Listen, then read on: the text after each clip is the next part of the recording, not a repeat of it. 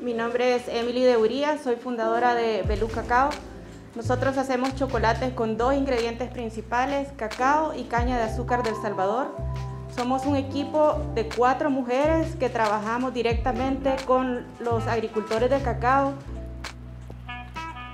en los últimos dos años hemos ganado ocho premios internacionales, seis de ellos en Europa, así que estoy súper emocionada de estar aquí y le doy las gracias a la CIEC, a la Unión Europea, por darme este empujón a, a probar ese mercado. Eh, bueno, yo recibí la invitación para participar en el Eco Bootcamp. Sabía que iban a ser muchos meses de estar en reuniones, de hacer trabajo. Siempre había sentido que el mercado de Europa era un poco inalcanzable y que estaba lejísimo para mí. Eh, el Eco realmente me ha dado como el empujón para hacerlo.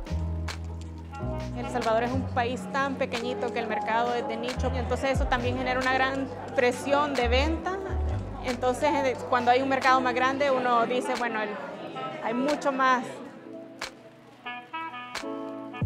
Venía con una idea, como siendo como que bien rígida, de tener que vender, hablar profesionalmente, los precios, me abrumaba todo el tema logístico, pero creo que eh, es, mucho, es mucho más humano al final del día eh, y eso creo que, que me ha gustado, creo que es lo que más me ha gustado todo el viaje.